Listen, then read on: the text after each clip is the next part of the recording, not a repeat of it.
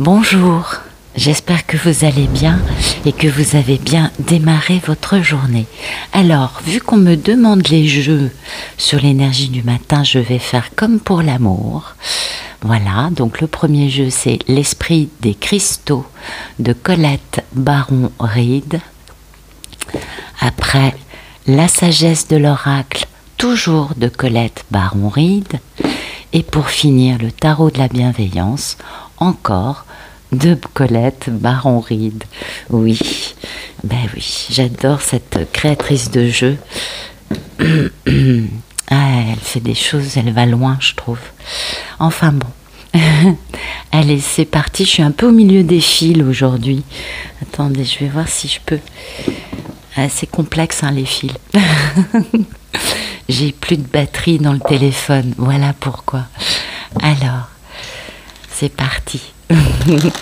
Merci de nous donner des beaux messages pour ce mardi 30 août 2022.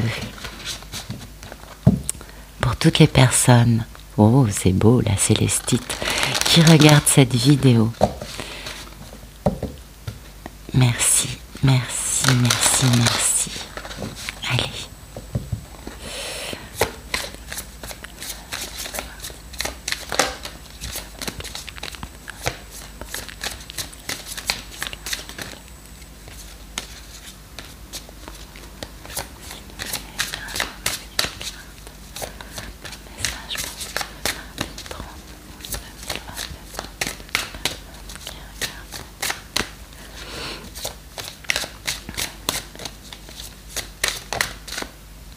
Oh, je connais pas du tout. Peut-être que certains parmi vous connaissent.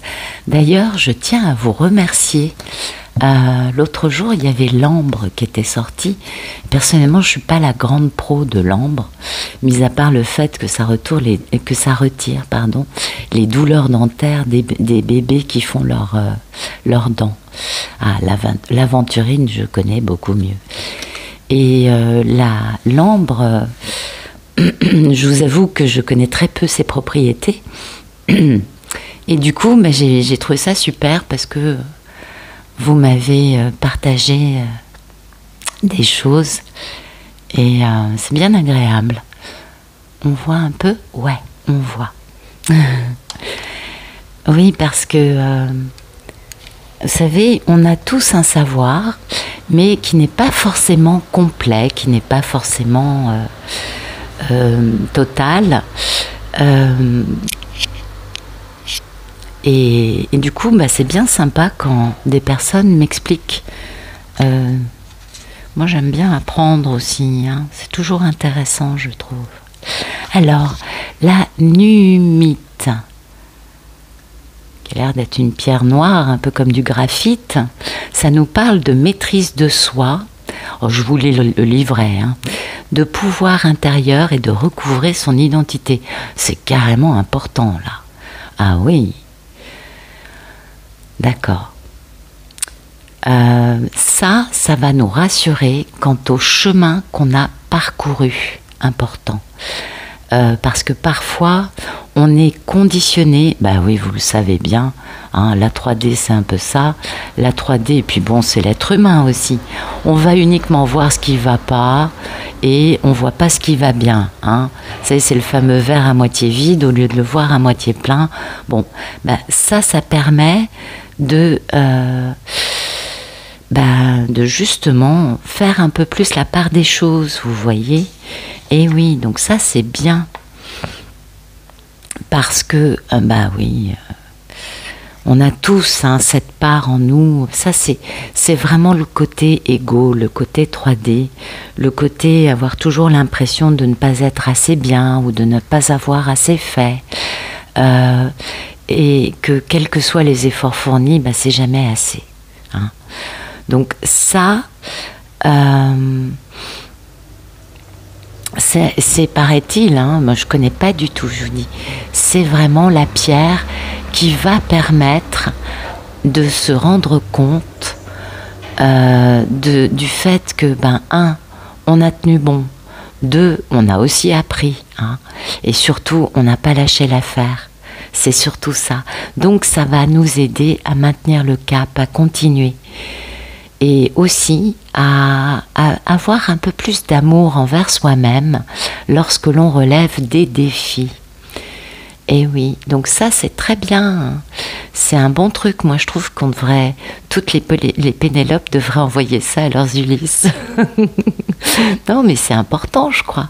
Ça les aiderait peut-être un peu parce que ça permet de d'aller vers quelque chose de plus sain dans les relations qu'on a. Et oui, forcément. Et, euh, et, puis ça permet aussi de se rendre compte que l'univers euh, ou la vie, enfin bon, ça dépend comment on conçoit les choses, n'est-ce pas, euh, n'est pas si méchant que ça. c'est joli. Hein oh, c'est beau ça. Alors l'aventurine, c'est pour le côté... l'aventurine, oui, j'en ai pas ici. Euh, mais j'en ai beaucoup. J'en avais beaucoup avant, c'est bizarre, tiens. Euh, l'aventurine, c'est vraiment quelque chose, ça, qui est positif, qui est optimiste, qui, qui nous donne. et ça nous donne de la joie de vivre, du bonheur, vous voyez, un côté ouvert à toutes les nouvelles possibilités, prendre conscience que le potentiel est très ouvert, avoir une vision plus avec un champ, vous voyez, un champ de vision, euh, c'est plus une fenêtre de tir, c'est un champ de vision, vous voyez, c'est plus ouvert. Donc euh, c'est assez intéressant parce que ça permet quand même euh, de dépasser notre côté un peu, comment dire, bah justement, ça permet d'aider à sortir de sa zone de confort ça permet aussi de, passer un peu hein, le côté j'ai pas fait ci, j'ai pas fait ça. Donc vous voyez, l'intérêt des deux pierres, c'est vraiment de, de garder confiance, d'avancer et de comprendre qu'on a déjà fait beaucoup et qu'on peut continuer parce que vous savez ce que c'est. Euh, c'est pour ça d'ailleurs qu'on dit que le travail manuel est beaucoup plus gratifiant que le travail intellectuel parce qu'on voit tout de suite le résultat de nos efforts, ce qui va nous motiver à aller plus loin, à continuer, à tenir bon. Ben, c'est un peu ce que je dirais aujourd'hui pour les deux pierres qui nous sont présentées, qui nous sont données par mes guides ou les vôtres. Et euh, parce que vraiment, euh, ça permet de garder confiance, de comprendre qu'on a déjà beaucoup avancé et d'arrêter de croire qu'on n'en fait pas assez. Et ça, c'est important, je crois, de laisser un peu de côté le côté euh, euh, pas assez, pas assez ci, pas assez ça, et de pouvoir passer à quelque chose justement euh, de beaucoup plus positif, hein, de beaucoup plus accompli, de beaucoup plus satisfait et optimiste, et, euh, et, puis aussi avec un petit peu de bonheur, c'est pas mal ça aussi. Donc des pierres qui nous disent c'est bon, tiens bon en tout cas, qui nous permettent de comprendre que oui, euh, l'univers est à nos côtés, la vie n'est pas contre nous, et en effet, on peut se réjouir d'avoir avancé. Bah, c'est pas mal quand même. Hein. Moi, je crois que c'est, c'est des beaux messages, tout ça. Ah oui, c'est intéressant. Donc, euh, j'aurais tendance à penser que euh, certaines personnes ont besoin hein, de, de se sentir un peu, un peu soutenues et puis de reprendre un peu confiance dans ce qu'elles ont réalisées, dans ce qu'elles ont commencé à mettre en place. Oui, le chemin est long. Hein. Ah, regardez, on a la flexibilité et le principe féminin. Donc bon, aujourd'hui, on nous parle de souplesse. Absolument. Merci de nous donner des beaux messages pour ce 30 août 2022. Pour toutes les personnes qui regardent cette vidéo, bloom, bloom, bloom. Ah ouais, c'est beau, c'est beau, c'est beau. Merci.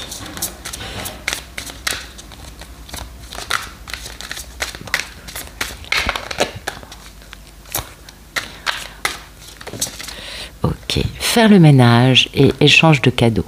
Oui, bon, bah ça, ça nous parle vraiment de continuer. Hein. on garde confiance dans ce qu'on a déjà commencé à mettre en place, peut-être uniquement psychologiquement. Les progrès euh, nous permettent, enfin constater qu'on a quand même fait des progrès, nous permet tout en restant équitable, hein, ça c'est important, en traitant bien tout le monde, soi-même inclus, parce que il y a certains genres de personnes qui vont faire passer tout le monde avant eux et qui vont pas être équitables envers eux. Ça peut aussi être une des, une des données hein, dans l'équation. Donc euh, aujourd'hui, on continue, on fait le ménage, on nettoie notre vie, euh, nos croyances, nos placards. Euh, bon, voilà, hein. on met un grand coup de, de, balai, de, plumeau, et on peut comme ça, comment dire, bah, vous savez ce que c'est Quand on retire la poussière, les choses sont quand même plus lumineuses et plus brillantes, hein, moins ternes. Voilà. On fait le ménage et puis c'est nécessaire de se délaisser de tout ce qui ne sert pas dans notre vie. C'est important de régulièrement euh, faire du ménage. Et puis peut-être aussi que vous le savez, quand on est dans une ascension, eh bien à un moment, l'équation dans laquelle on était bien jusque-là ne convient plus eh oui, parce qu'on a grandi, on a changé. Et du coup, bah, il y a des choses dont on peut se délester, qu'on peut par exemple offrir. Il y, a des choses dont on n'a plus besoin, mais qui vont faire plaisir à d'autres. Eh bien, ça, c'est super. Ouais, c'est très bien. Et puis bon, en effet, ça permet notamment de recevoir des cadeaux. Donc vous voyez, ça peut... Bah, vous voyez, vous vous délestez de choses, vous faites un cadeau à quelqu'un. Et puis vous verrez que l'univers vous rendra des cadeaux. Ça, c'est beau. C'est cette notion de, générosité, de partage, de faire plaisir. C'est important de, donner des cadeaux, d'être généreux d'être dans cette notion du donner et du recevoir. Vous voyez, euh, ça c'est productif. Il y a un côté beaucoup plus enrichissant, beaucoup plus riche en effet, euh, quand on fait ça, parce que du coup, ben, euh, on est conscient qu'il y a beaucoup de possibilités. Voilà, c'est cette fameuse fenêtre de tir hein, qui s'ouvre. Oui, ouais, le fait de prendre conscience du champ des possibles, de garder confiance dans le fait que beaucoup de choses peuvent entrer dans notre vie alors qu'avant, on n'en était pas forcément conscient ni très convaincu. C'est un peu ça l'idée. Et là, vous voyez, c'est la même énergie que l'aventurine. Et faire le ménage, ça colle bien avec la numite. Donc on est bien cohérent. C'est oui, c'est amusant hein, combien ces énergies euh, sont importantes, mais c'est vrai que c'est aussi ça le chemin de l'ascension. Hein. C'est euh, de comprendre euh, ben on peut continuer à s'investir dans quelque chose parce que ben, plus on se donne dans quelque chose et plus on reçoit. C'est aussi ça hein, la loi du donner et recevoir. Donc c'est bien parce que du coup ça nous permet de sortir de choses qui nous ont fait peur, de schémas de vie, de schémas de pensée, de traumatismes. Et ça nous permet de, de sortir de ça, vous voyez, de sortir d'une forme de déséquilibre. Parce que, euh, ben, finalement, euh, on comprend, hein, bon, petit, c'est graduel, on est d'accord. Par moments, c'est un peu eureka et à d'autres, c'est plus graduel voire même homéopathique. Euh, mais euh, en effet, on comprend, plus on avance et plus on comprend combien la peur est bien la pire chose à écouter. Enfin, c'est vraiment une mauvaise conseillère, on le comprend bien. Donc, à nous de bien utiliser nos les choses que l'on veut offrir, que l'on veut partager, d'en connaître la valeur, de ne pas justement les dévaloriser, les regarder et en les, en les finalement en, les bradant. Hein. Non, non, à nous de bien comprendre ce que l'on partage, ce, à quoi on donne de la valeur et de poser ces actes d'une façon équitable, d'une façon euh, respectueuse envers soi, envers l'autre, envers les autres. Et oui, parce qu'il y a un grand vent de changement qui arrive. Hein. Mhm. Et puis, ça va être très rapide, très soudain, ça va être une évidence que, euh, ben, voyez, là on a un zèbre, hein, mais qui porte les peintures de quelque chose, d'un autre animal. Je ne sais pas lequel c'est, qui, je suis désolée. Et euh, ça, c'est vraiment le fait de retirer ses masques, le fait de vouloir aller vers quelque chose d'authentique, de vrai. Donc ça va générer bien sûr du conflit et du chaos, bien évidemment, puisque euh, les choses établies sur du mensonge vont voler en éclats, on le comprend bien.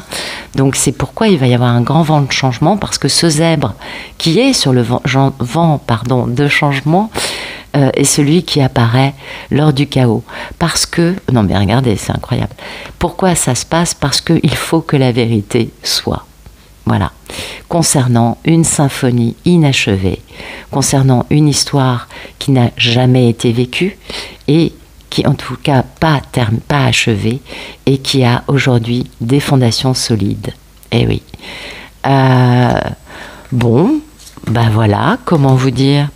Plutôt beau. Hein oui, il y a des personnes actuellement qui font du ménage dans leur vie et qui gagnent en stabilité, qui sont en train de gagner en confiance, qui commencent à comprendre un peu la valeur de ce qu'ils donnent. C'est très important. Hein.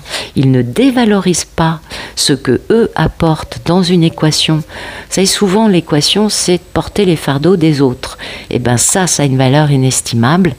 Donc euh, oui, on reste juste, on reste équitable, mais euh, on pose des limites saines et on valorise ce que l'on fait, donne et pourvoit euh, à l'autre, aux autres, en tout cas à une situation donnée.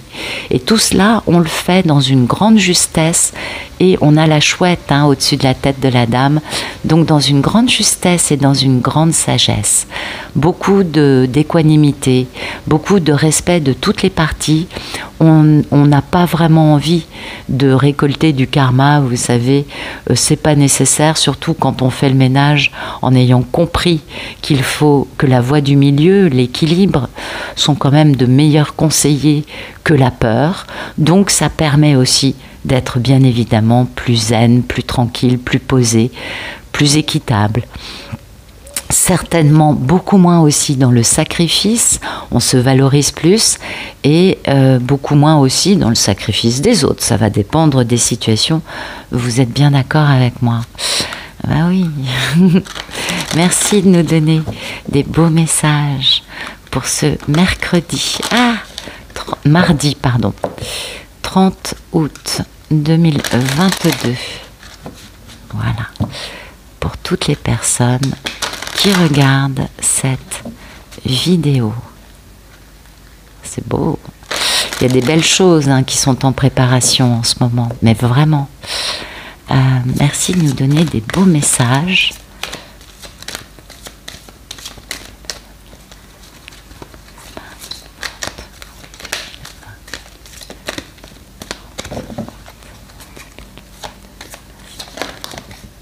Beaucoup de messages aujourd'hui, ok.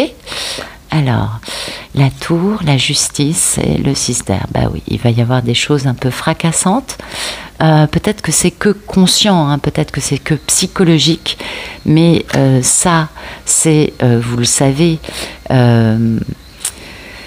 alors bon, passe pas dans ce jeu, hein, puisqu'on a un ciel plutôt dégagé. Normalement, la tour, c'est un éclair qui sort du, ciel et qui fait tomber, qui détruit une tour euh, avec la foudre, hein, qui frappe une tour, une construction humaine avec beaucoup d'ego, et on voit les deux protagonistes, un homme, une femme, qui tombent de cette tour.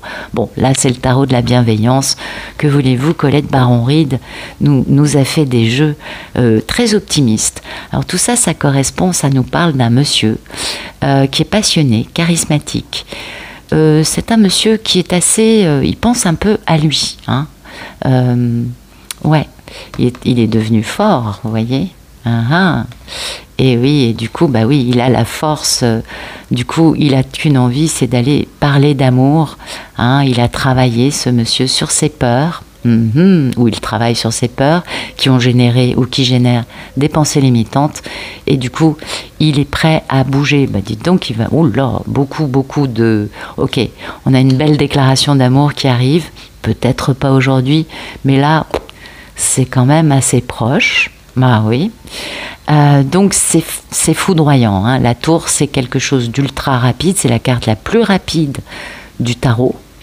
Donc la, prise de conscience, ce eureka, ou cette, ou cette réalisation, ou euh, l'éclatement de peur ou euh, l'éclatement d'une façon de penser totalement inadéquate, hein, parce que bon, savez, les peurs, ça génère pas des façons de penser très, très positives. Bah oui, on s'en doute. attendez, attendez, je me reconnecte. oui, ça pète en un millionième de seconde. Quand la foudre frappe, c'est ultra rapide. Ben là, c'est la même histoire. Ou alors, ce qui peut être aussi ultra rapide, c'est le mouvement, la communication, le fait de bouger. Parce que derrière, on a euh, soit le fait de rééquilibrer une situation dans laquelle c'est vraiment le grand B, pla pla pla, L à la fin, Euh, bah, vous voyez ce que je veux dire euh, soit sinon c'est un contrat d'âme. Pourquoi? Bah, Parce que pour moi, la justice, c'est aussi une question de contrat d'âme. Euh, ce contrat d'âme qui nous force, un, à nous rééquilibrer nous, et deux, qui va nous forcer à l'arrivée à rééquilibrer une situation totalement dans la panade. Donc c'est pour ça que pour moi, si vous voulez, cette carte de justice, c'est autant euh, oui, la justice divine, la justice humaine, euh, le fait de rééquilibrer une situation qui va pas bien, mais c'est surtout, je pense, le contrat d'âme. En plus, c'est la, carte numéro 11. Alors oui, moi je travaille avec le Rider Waite, je le dis souvent, mais je le répète, pas avec le tarot de Marseille. Dans le Marseille, c'est la 8, qui est très beau aussi comme chiffre, mais euh, du coup, comme c'est le 11, euh, c'est aussi, vous le savez, un chiffre de couple de lien d'âme, hein, on est d'accord. Pour moi, c'est ça, c'est quand même... Alors, soit on va aller très très très très vite dans la prise de conscience des éléments nécessaires à rétablir une situation, soit on va aller très très très très vite pour rétablir cette situation en quittant une vie dans laquelle on n'est pas heureux pour aller vers de la sérénité, de la paix, de l'harmonie.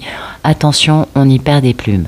Mais dans toujours ce merveilleux tarot de la bienveillance, euh, c'est pas un bateau, vous voyez, une barque avec un rameur et une personne complètement affligée et plein d'épées autour. Non, c'est une belle, euh, un beau navire euh, ça fait penser un peu au, au, euh, enfin Santa Maria et je sais plus les autres de, de, Colomb hein, quand il est parti. En, non, je pense que c'est quand même plus, plus, plus, plus récent que Colomb. Oui, on dirait plutôt les, les gros gros bateaux du XVIIe, XVIIIe siècle. Euh, ouais peut-être 19e, je suis pas très calée en navire, je vous avoue. Enfin bon, là on voit que la personne se déplace toute voile dehors, que c'est pas un bateau, c'est pas une personne qui a tout perdu comme dans d'autres euh, jeux. Pour moi, c'est une carte qui nous parle justement d'une personne qui a quand même une certaine opulence. Vous voyez que le bateau n'est pas euh, désolé, que c'est un beau navire, donc ça laisse supposer quand même pas mal de profusion, pas mal de, c'est un bateau qui a de la force, qui est, il a un côté majestueux d'ailleurs avec toutes ses voiles. Mm c'est beau. bah oui, moi je trouve ça magnifique. Euh, donc c'est un beau bateau qui se prépare à, euh, bouger aujourd'hui. Ok? Ah oui, la situation, ça fait longtemps qu'on n'est pas au point et ça nous a éprouvé, ça nous a permis de découvrir qu'on avait beaucoup plus de force que ce que l'on imaginait. Mhm. D'où cette notion de je peux partir. Euh, concernant euh, le fait, ah bah oui, ça c'est vraiment, euh, mais bon, c'est le tarot de la bienveillance, donc c'est pas du tout la même, la même signification. Alors, attendez, je vais quand même jeter un œil pour être sûr de ne pas vous dire de bêtises. Oui, quand même, ça nous parle de tension, de conflit.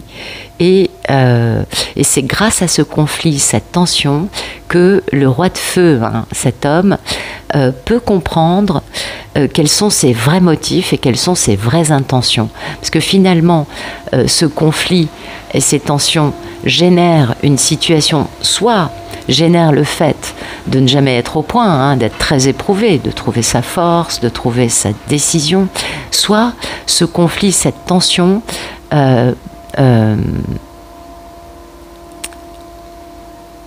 est généré par le fait, parce que du coup ça peut être un conflit intérieur, une tension intérieure, vous voyez, le fait de tout à coup faire Eureka, c'est aussi par rapport à nous, par rapport à, au fait de se dire, ok, euh, j'ai fait ça comme ça jusqu'à présent, faut que j'arrête. Hein. Tension, conflit, on voit bien que, ah ah, joli, joli, le couple est là. c'est beau, c'est beau, c'est beau. Ouais, ça, c'est très, très, très, très rare le matin, vous le savez. Ah oui. Euh, donc, euh, bah oui, ça nous annonce une belle reine de feu, hein, donc la comparse du roi de feu. normalement, la reine de bâton, c'est la seule reine célibataire. La reine d'épée, elle est divorcée ou, veuve, mais la reine de bâton, elle est célibataire. Mais bon, la reine et le roi de feu, quand même, ils vont quand même très bien ensemble, ils forment un très beau couple et qui est bien évidemment cette incarnation du féminin sacré, cette papesse, cette femme très humaine, très profonde, très mystique, très spirituelle, avec euh, des tonnes d'intuition. Elle sait bien avant que ça arrive ce qui va se passer, elle se trompe jamais. Elle a vraiment une connexion avec euh, sa petite voix intérieure, avec son cœur, avec son âme. Euh, très très très profonde, très ancrée. Donc elle sait hein, que tout cela va arriver. Et, mais c'est une femme qui est terriblement indépendante qui euh, a son cœur, hein, qui, qui l'amène. C'est une passionnée, c'est une. Bon, en même temps, euh, elle fait tourner les têtes des messieurs. Ah oui, elle aussi, si le monsieur est comme ça, est très charismatique, elle aussi euh, attire énormément le regard et est totalement. comment dire Elle a un côté lumineux, un côté en plus très. comment vous dire Côté très noble très généreux et très, euh, très droit. Quand elle, rien que sa posture, elle inspire. Euh, vous voyez, elle, waouh, on la regarde, on se dit ah ouais, canon. Même si c'est pas la plus belle physiquement, ce qui émane d'elle est quand même quelque chose de beau, de, de, très de très lumineux, de très fort aussi, hein, de très indépendant. Et, euh, et puis, comme elle a ce côté passionné, hein, ce feu, du coup, elle attise le feu des gens, elle inspire, voyez, les autres. Et comme elle a, euh, comme c'est la papesse, euh, elle a en plus cette humanité, cette intuition, cette, ce regard qui, quand il se pose sur vous, est bienveillant et en même temps vous a compris. Et ça, c'est une très belle qualité qu'ont des personnes, ah oui, quand on les rencontre, c'est quand même des moments... Ah, ça c'est magique, hein, vous le savez. Donc c'est une grande dame. Voilà, donc bah, écoutez, ça nous parle d'un Ulysse qui euh, voilà, est en train de faire tout ce parcours. Euh, il a enfin compris pourquoi les tensions actuelles avec sa Pénélope, sa divine, était généré juste parce que ce monsieur eh bien, laisse durer, procrastine, à de bonnes raisons certainement, mais pour la divine c'est un peu mais qu'est-ce qu'il fait? Oui, je ne vous apprends rien. Euh, voilà, c'est, il comprend, oh, c'est son moment eureka, c'est la tension actuelle avec Pénélope, c'est que ben, je ne bouge pas et que je ne suis jamais euh, raccord avec le fait de poser enfin cette action, alors qu'au fond de lui, il le sait. Hein.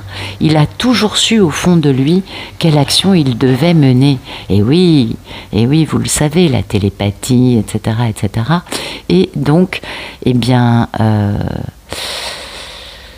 bah, c'est une très belle réalisation. Aujourd'hui, il y a une bonne prise de conscience hein, que pour que ce, cette, euh, ce conflit se rééquilibre, eh bien, il faut qu'il bouge, qu'il quitte une vie dans laquelle euh, rien d'extraordinaire pour lui, euh, qu'il fasse du ménage, lui permettra d'avoir un bel échange de cadeaux avec sa divine et notamment de trouver ce bel équilibre hein, qui nous est annoncé par deux cartes quand même. Par, il me semble aussi que dans les pierres on en parlait. Donc un bel équilibre annoncé aujourd'hui. c'est plutôt très beau. Hein c'est un très très très très beau message. Enfin, ce sont plutôt de beaux messages. Euh, faire le ménage, euh, ça correspond aussi à la tour, hein, au fait d'en finir avec des situations, des personnes, des constructions de vie qui sont basées sur des conceptions malheureusement basées sur la peur ou sur l'ego. Hein. Euh, et qui du coup ne sont pas pérennes, ne sont pas équilibrés et ne peuvent pas permettre de donner des beaux cadeaux, de donner de l'équilibre, de donner surtout du bonheur, du bien-être et une absence de souffrance. Ce qui est un peu ce que veulent tous les humains, je crois quand même. Et il comprend bien, ce monsieur, que ça, parce qu'il le sait, il est programmé pour. Vous savez, les, polarités féminines savent que c'est le monsieur, mais le monsieur aussi sait très bien qui est cette femme. Hein. Euh, donc euh, là, une belle prise de conscience et du coup, bah écoutez, ça va permettre d'ouvrir un peu des portes et de commencer à faire bouger les choses avec plus de fluidité, plus de tranquillité, d'équilibre, d'harmonie, de sérénité pour avancer dans la bonne direction. Voilà. Bah écoutez, j'espère que ça vous aura plu. Personnellement, je vous remercie pour vos vues, votre présence, votre fidélité, vos likes, vos messages. Euh, c'est pour vous que je fais ça, vraiment. Et je suis heureuse que, que vous soyez là et je vous en remercie. Je vous souhaite une excellente journée. Je vous dis à bientôt.